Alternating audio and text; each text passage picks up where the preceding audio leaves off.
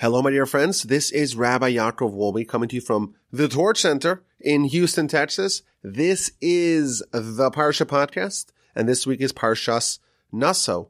I hope you're doing well wherever you may be listening to this podcast. I hope you had a wonderful Shavuos, the festival we just celebrated on Monday and Tuesday, starting from Sunday night going to Tuesday night. I had the great privilege of studying Torah the whole night as is traditional. I stayed up with my two oldest boys, Akiva and Yeshua, and Torch ran a Shavuos program, and I was asked to give a class, which I did, which is always weird for me to give a class on a festival where we don't do any work and we don't use any electronics. It's really weird for me to give a class or a speech or a lecture. And I'm always thinking, wow, this could have been an amazing podcast, but there's no microphone in sight. And I feel like the words that I'm saying are just going up into the air and disappearing into the ether without being preserved. So I gave a class and the class was titled the six biggest questions of Shavuos. And it was really lovely. It was really delightful. But of course it wasn't recorded. But I was thinking maybe next year I'll make a podcast out of it so everyone the world over can enjoy. But Shavuos was utterly delightful, and I hope you enjoyed yours as well.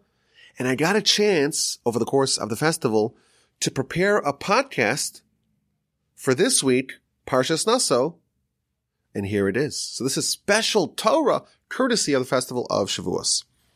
So in our parsha begins with the continuation of last week's parsha, namely the counting of the Levites and the apportioning of the responsibility of each Levite family. And then we're told about cleaning out the camp from people who are impure and some of the laws of theft. And then we have the sota, the laws of the sota, the suspected adulteress. And then there's the nazir, a person who accepts upon themselves a vow to abstain from wine and from cutting their hair and coming into contact with dead people. We have the priestly blessings and finally, the parsha ends with the gifts of the princes. First, they give a gift of six covered wagons or carriages and 12 oxen to be used in the transportation of the parts of the tabernacle once it's disassembled. And then we have the 12 day tribute. Each day of 12 successive days, another one of the princes of the tribes brings a very elaborate and identical tribute to celebrate the inauguration of the tabernacle. And this is what we want to talk about in this week's Parsha podcast. The gifts of the princes. And it begins in chapter seven of our Parsha of the book of Numbers. It's the first day of Nisan. There's been about a half a year of preparing for this moment. The tabernacle has been erected. We had seven days of inauguration. Now it's day eight. That same vaunted day eight that we heard so much about. It's actually the fourth parsha to be discussing the same day, the first day of Nisan. This is nearly a year after the Exodus. The last parsha in the book of Exodus, Parshas Pekudei, twice in the book of Leviticus, Shemini and Acharei, and now here in the book of Numbers, Parshas Naso, all four parshios are discussing the very same day, the first day of Nisan. That is a nice little bit of trivia.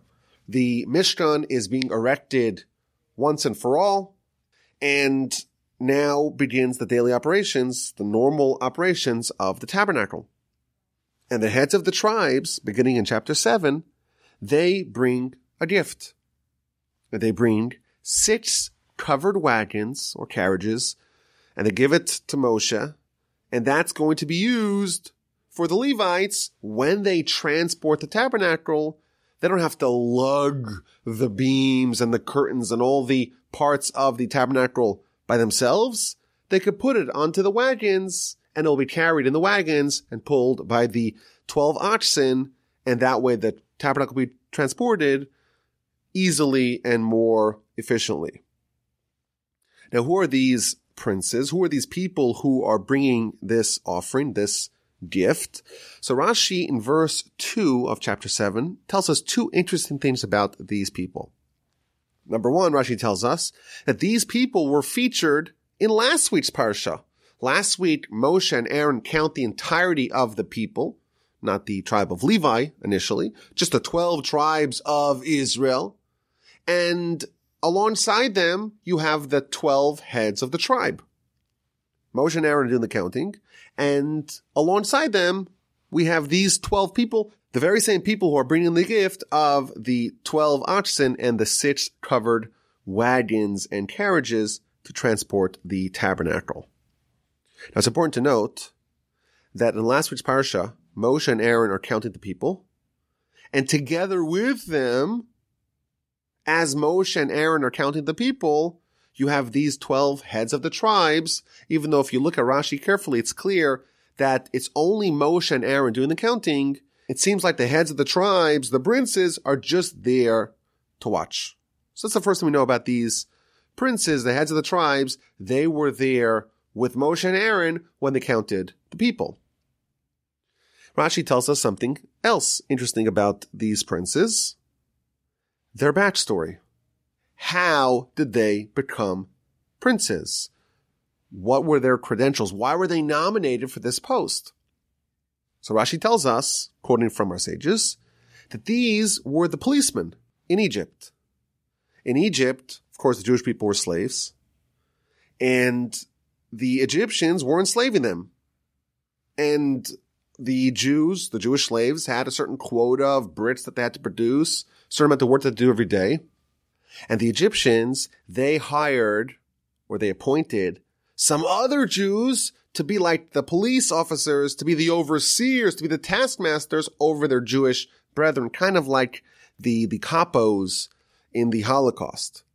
And we're told that these 12 people were hired by the Egyptians to oversee their Jewish brethren, but they were righteous and they were kind and they absorbed blows on behalf of the people.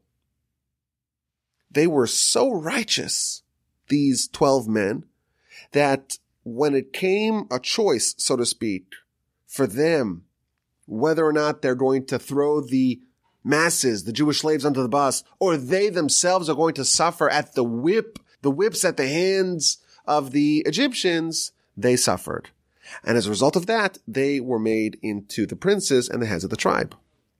And these same 12 people who last week's parasha counted the Jewish people or oversaw Moshe and Aaron count the Jewish people, they now come and make an offer of oxen and covered wagons for the Levites to carry the components of the Mishkan, of the tabernacle, when it is in transport. It's so heavy, so many beams, so many curtains. To carry it themselves will be so backbreaking. Let's get them some wagons and oxen and they will carry it. Now there's another clue to the story of the princes featured in Rashi a little bit later on in chapter 7. Rashi tells us that there's a reason why these princes were so eager to offer a gift at the inauguration of the tabernacle. And he tells us that initially, when six months prior, there was a fundraising drive to gather the various components for the Mishkan, these same princes, they delayed, they tarried, they dithered in offering a donation of gold or silver or precious wool or expensive wood or various other leather things, components that were needed for the Mishkan, for the tabernacle. And the reason for that is that they said, let everyone else give, and whatever they don't give, we will make up. We'll make up the difference. And indeed, the people were incredibly generous, and there was nothing left for them to give.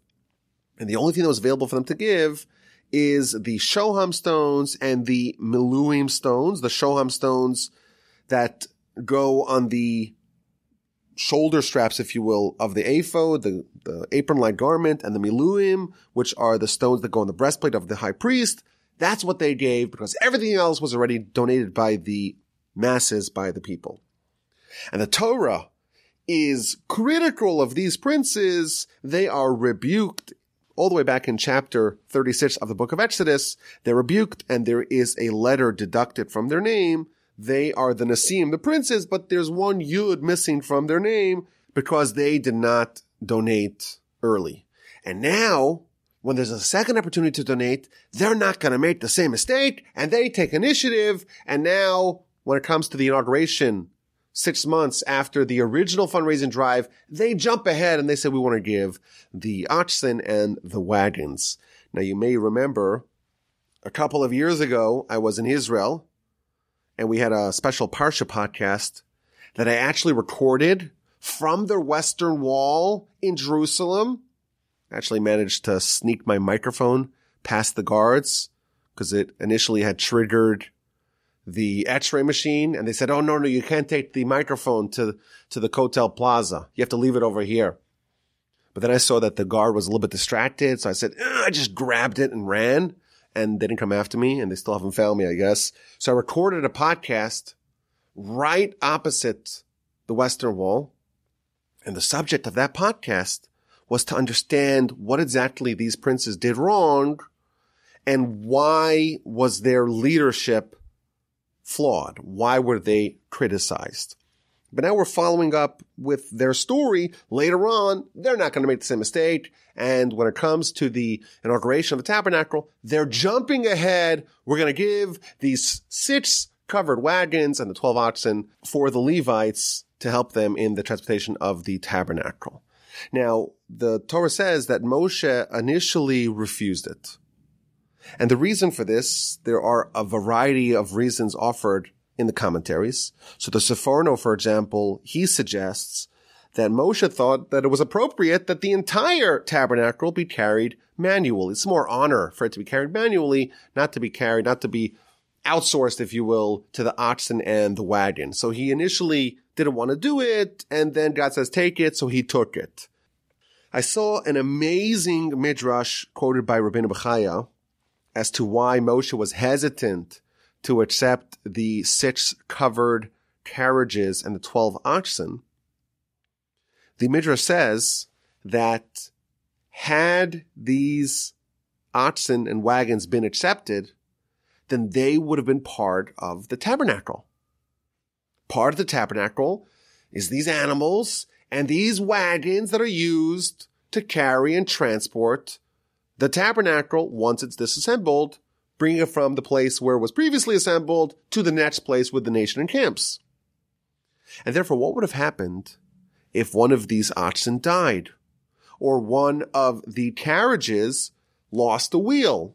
In that instance, says the Midrash, that something that's included in the original Mishkan breaks, in the original tabernacle breaks, then the entirety of the tabernacle will have been invalidated. You have to have everything in fully operational working order in order for the tabernacle to continue its operations. And ultimately, God commands Moshe to accept it.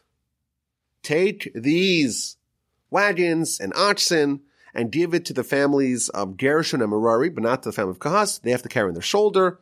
And the Midrash concludes that God tells Moshe Verse 5, take it from them and they shall be, says the Midrash, that the Almighty gave a blessing, so to speak, to these oxen and these wagons that they will endure and they will be forever.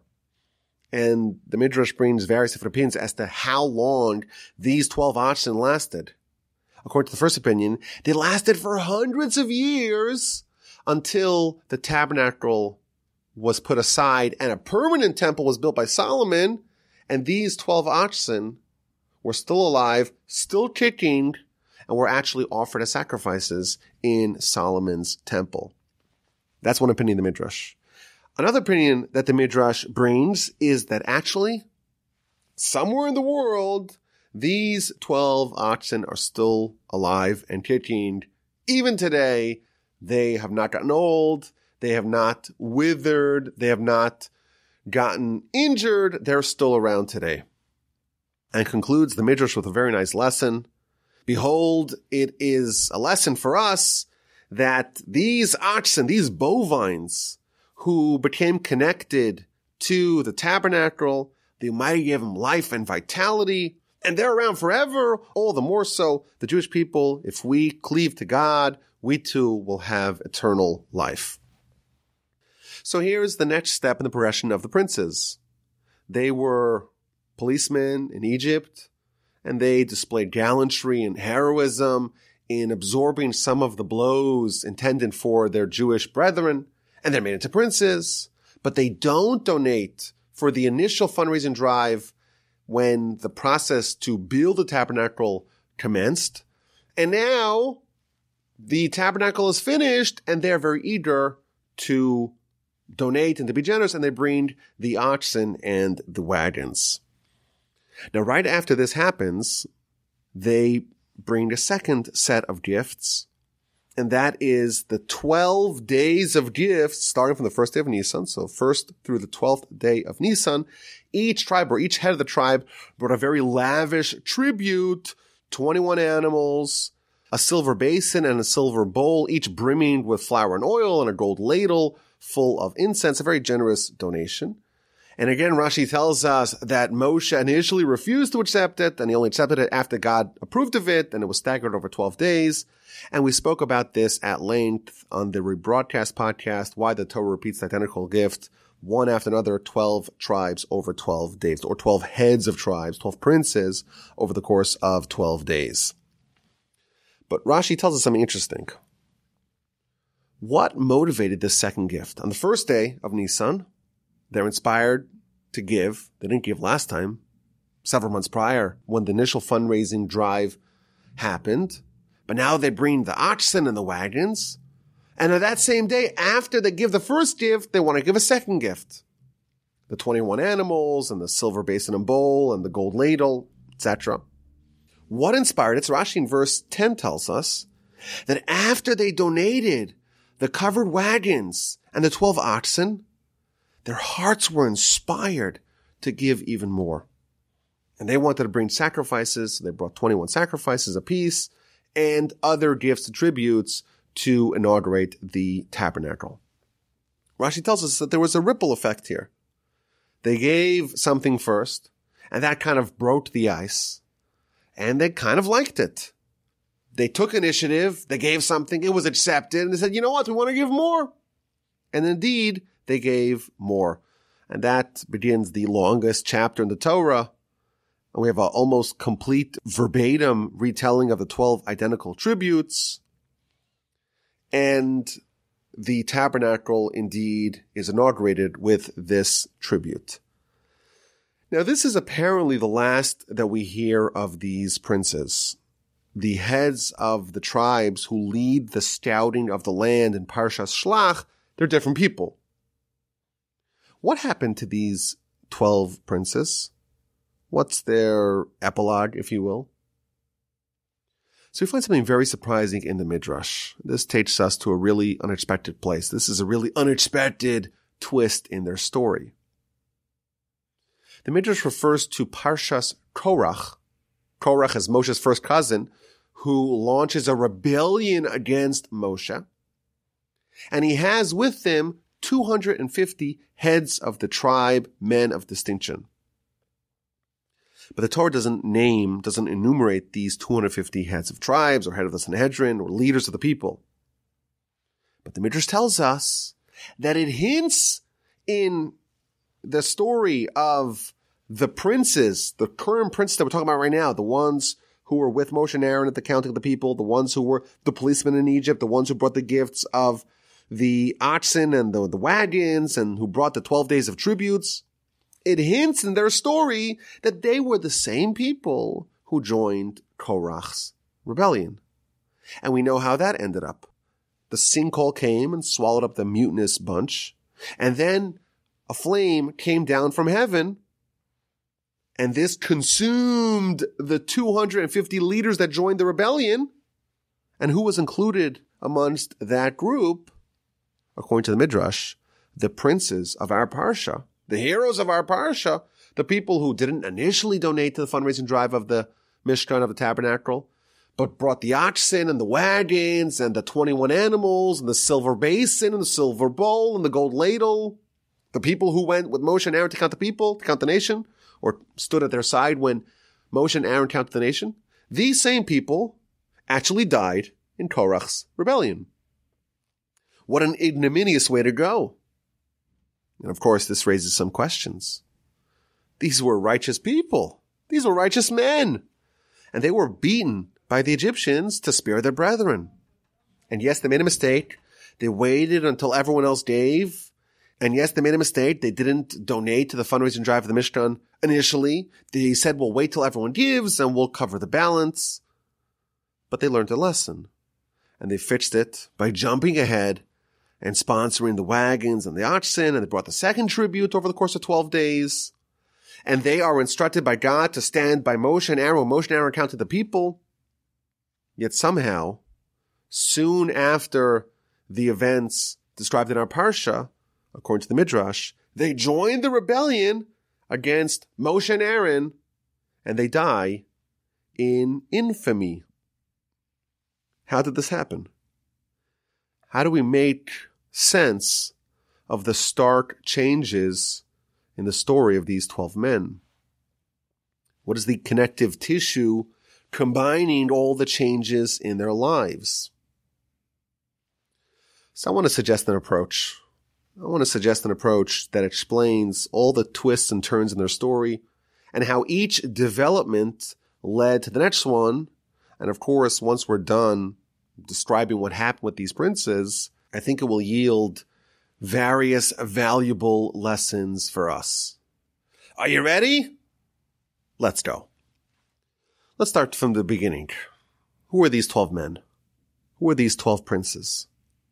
So we're told that they were officers in Egypt and they had a choice. Are they going to allow their charges to suffer at the hands of the Egyptians or are they going to absorb the blows themselves? And these princes were gallant. They were brave. They were heroes, men of name, men of stature, men of distinction. These are really great and righteous people and they were willing to suffer in order to spare others.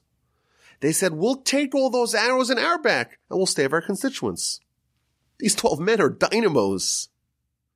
And they are justly rewarded for their gallantry. And they're made into princes of the tribes. And what happens? Day after Yom Kippur, Moshe comes down with the second set of tablets, and we begin a fundraising drive for the components of the tabernacle. We need gold, silver, copper, all kinds of expensive wool and leather and gems and wood. And the princes say, there's no way that these poor, recently released slaves are going to be generous. There's surely going to be so much that won't be donated. So we're not going to donate at the very beginning. We'll wait and whatever is not covered, we will cover. And what happened? In two days, the entire fundraising drive was concluded and there was almost nothing left for the princess. And the Torah says they made a mistake. And their mistake was that they underestimated the people that they were leading. They failed to recognize the supreme generosity and the supreme character of the people that, the lay people, the regular people that they were leading. Why? Why did the princes underestimate the people that they were leading? See, here's my theory. Who were these people? These were the officers who were the patrons of the Jews. They saw them at their worst when they were slaves and they had to fulfill a certain quota of brits every day. Otherwise they would get whipped. And some days they didn't fulfill their quota. And these heroes said, you know what? I'm going to suffer on behalf of these people. They had pity on them and they absorbed the blows on their behalf. Perhaps we can suggest that it is precisely because of their heroism that they underestimated the people. These princes were the people's benefactors. They were like the big brother who fails to recognize the qualities, the great qualities of the common folk, of the lay people. They said they're not going to be, I know these people. I saw them. I got to know them really well. There's going to be so much for us to cover. Let them give whatever they don't give, we'll cover. Their perspective of who these people were was molded by when they covered on their behalf, when they were the officers who suffered on their behalf, and consequently, they didn't know who they were dealing with over here. And these leaders were harshly rebuked for it. A letter is deducted from their name. Because true leadership is not just to be kind to the underprivileged, to have pity on the downtrodden. True leadership is to help all in their time of need, but also, more importantly, to see and recognize and appreciate the qualities of the people that you're leading.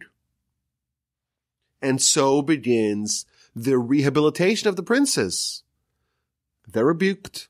A letter is deducted from their names and they take the message to heart. Now it's time for the inauguration of the tabernacle and they come and donate the oxen and the cattle. So they're showing, number one, that they have kindness not only with the poor, the downtrodden, the underprivileged, the tired, the poor, the huddled masses. Here, they are showing concern with the Levites, with the clergymen. They're saying, we want to make sure that no one suffers. We want to do kindness with the Levites so they should not have to do backbreaking work. The same concern that the princes had with the commoners in Egypt, now they are displaying for the Levites. The princes are reforming. And their gift of six covered wagons and 12 oxen are accepted, and they proceed to act with more generosity, and each one of them donates 21 animals, a silver bowl, a silver basin, a gold ladle over the course of the first 12 days of the tabernacle's operation.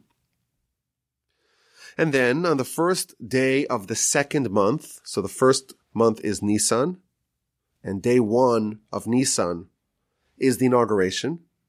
Day one of Iyar, which is the second month, that's when the process described in last week's parsha began of counting the people. It's important to note that even though this was told in last week's parsha, the count of the people, chronologically it happened after the events of this week's parsha, and as we know, the Torah is not necessarily in chronological order. So Moshe and Aaron are told to go count the nation.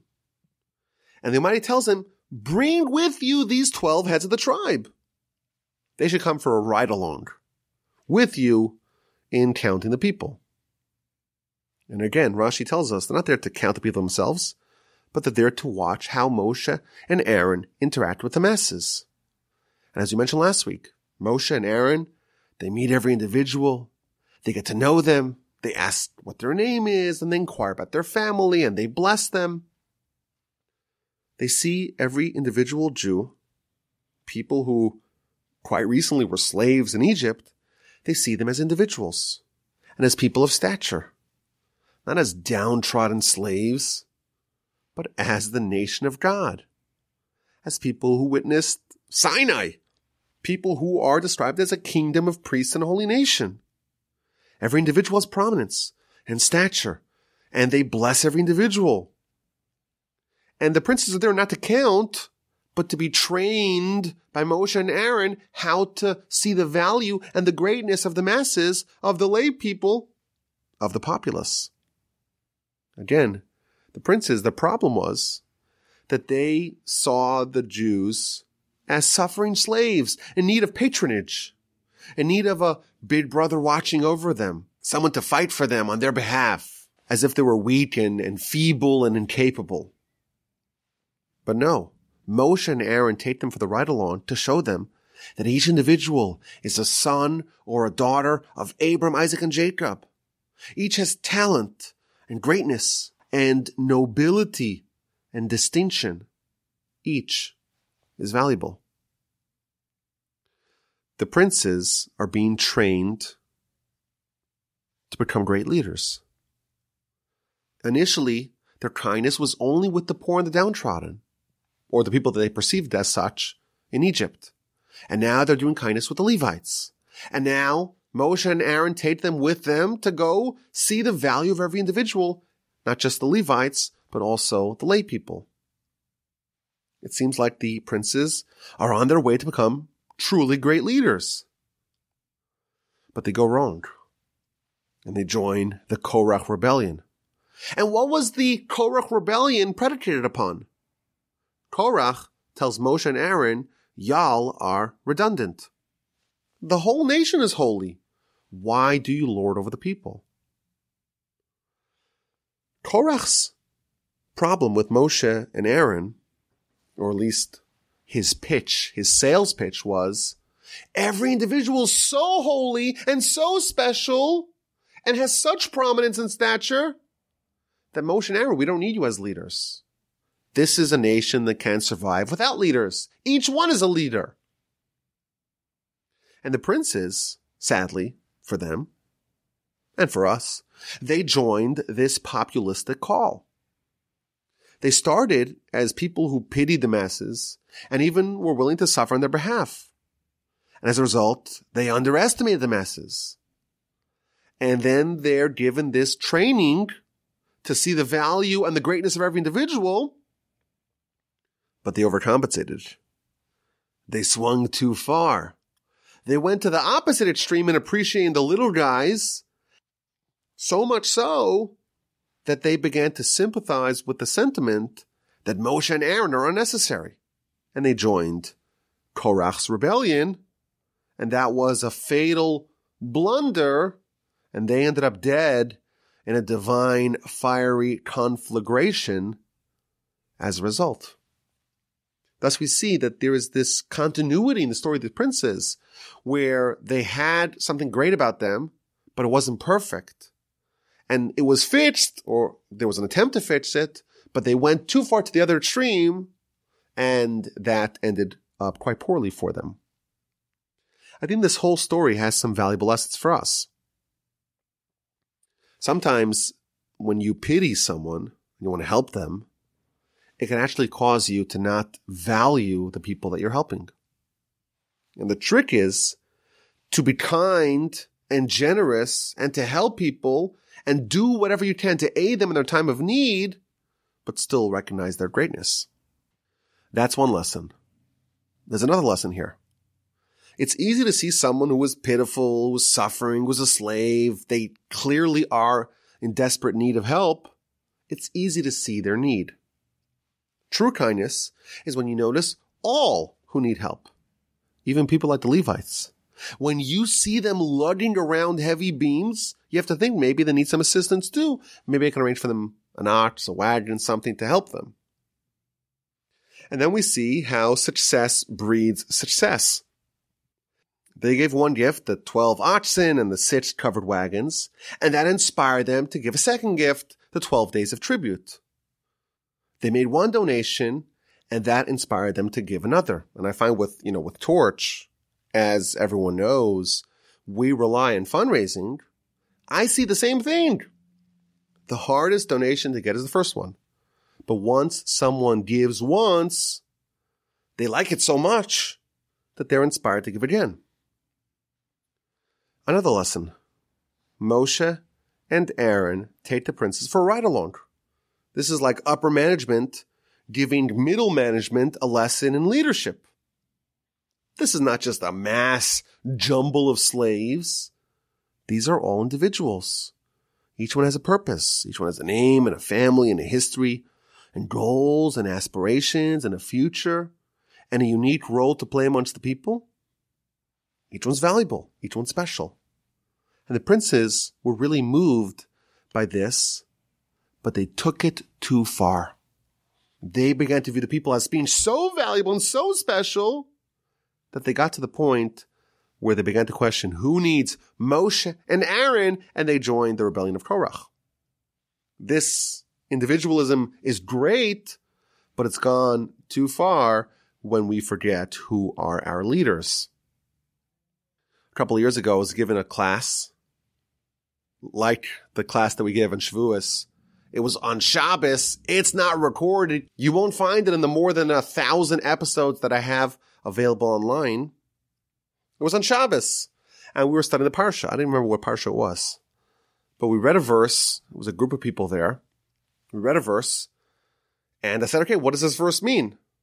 So I said, what do we do when we don't know what a verse means? I said to the assembled people there, Well, we look at Rashi. Rashi's the greatest commentator. Let's see what he says to explain this verse. And there was a man there, and he said to me, Why are we going to Rashi? Why do we want to hear what Rashi says? Let's hear what I have to say. I said to him, Yeah, I want to hear what you have to say, but let's, let's first look at Rashi.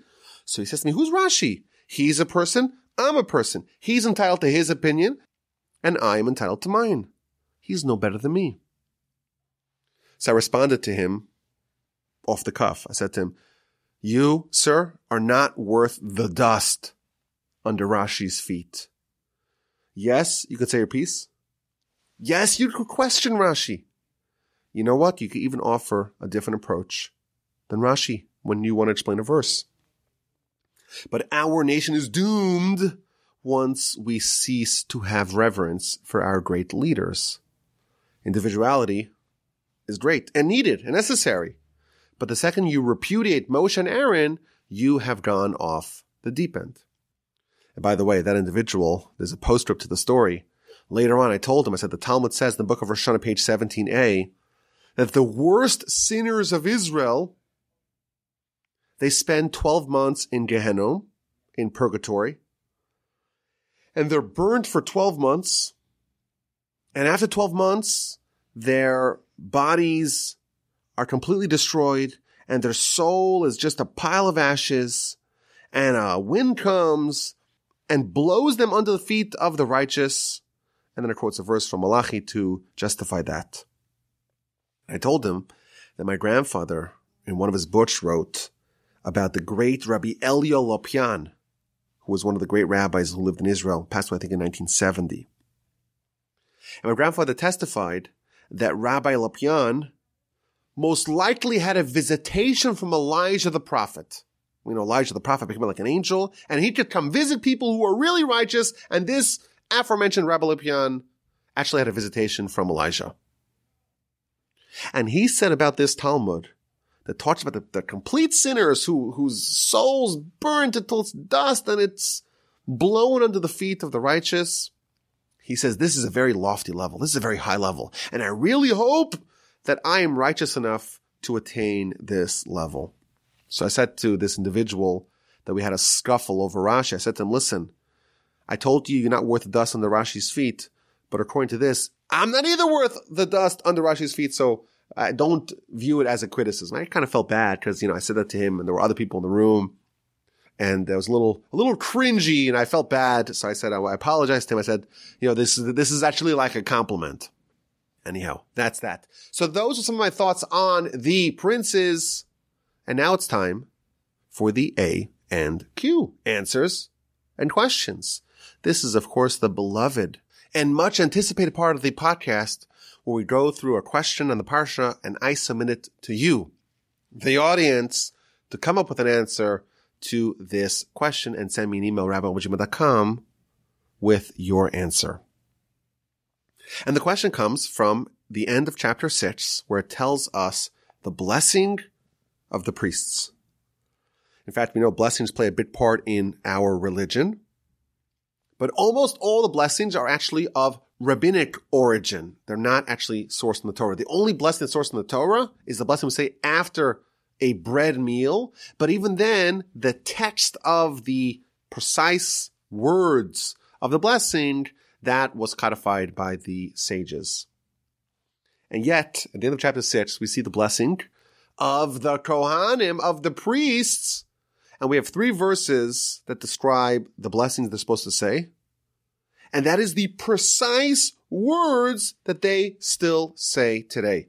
Yevarechacha Hashem. May God bless you and guard you. Ya'er Hashem. May Hashem illuminate His countenance for you and be gracious to you. Yisa Hashem shalom. May Hashem lift His countenance to you and establish peace for you. And here's the question. We're getting a blessing from the priests. And they're like reading a script shouldn't it be a bit more personal, a bit more extemporaneous?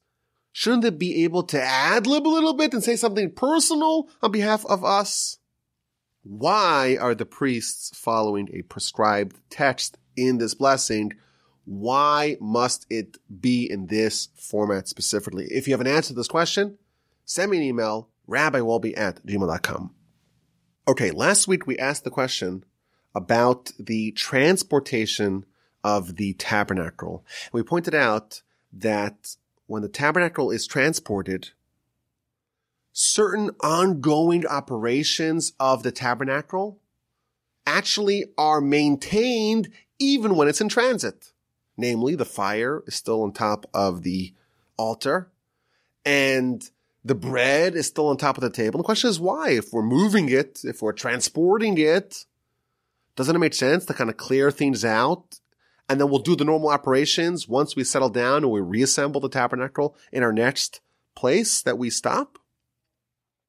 So I want to suggest an answer. When we are settled, when things are going as expected, things are in maybe a, a certain holding pattern, if you will, there's less of a risk. There's less of a risk of spiritual disruption. There's less of a risk of things going awry. But what happens when the box is shaken a little bit? When we move, when we are mobile, when things change, when the environment around us is in chaos, when there is a maelstrom and there's confusion and we're in a vortex and we're moving and things are unsettled. In that instance, there's a risk. There's a risk that we will drop from our stature. And because of the uncertainty and instability, we're going to experience a spiritual descent. And perhaps the lesson is that when the tabernacle is moving, when things are a bit unsteady, you have to hold tight and be extra vigilant and make sure that even when things are a little bit unsteady, when things go, are going awry, that you don't lose your standing and you maintain your equilibrium and you ensure that the environment and the circumstances don't cause you to have a spiritual descent. I was thinking that the entire world essentially over the past year and a half, over the course of the pandemic, our whole lives were appended. School wasn't normal. Our communal life wasn't normal. Our business life wasn't normal. Shopping is not normal. Nothing's normal. And I think that this is a very valuable lesson during a time like this. When things are up in the air and things are not going as they normally do, there is a grave risk that someone could really lose their standing. I'm thinking now, thank God in the United States, anyone who wants a vaccination to be vaccinated. And I assume that all the shuls in the country are going to be open for business on Rosh Hashanah Yom Kippur, the upcoming high holidays, in a couple of months. And I'm very curious to see what the numbers are going to be. How big of a drop off is there going to be from 2019 numbers to 2021 numbers? Because what happened? The entire world was in transit, if you will. Things were unsettled. Things weren't normal. And I wonder how many of our brethren we, so to speak, lost because of this risk when things are not normal, when things are up in the air, when things are chaotic. And I don't know how much of an effort there was to follow this idea to make sure that you hold on tight even when things go crazy. I wonder what kind of attrition our nation suffered, or at least membership, shall we say, suffered along the way. Let's hope and pray that our nation stays strong Let's pray for our brethren in Israel who are going through a war, as you are aware of. And I thank you for listening.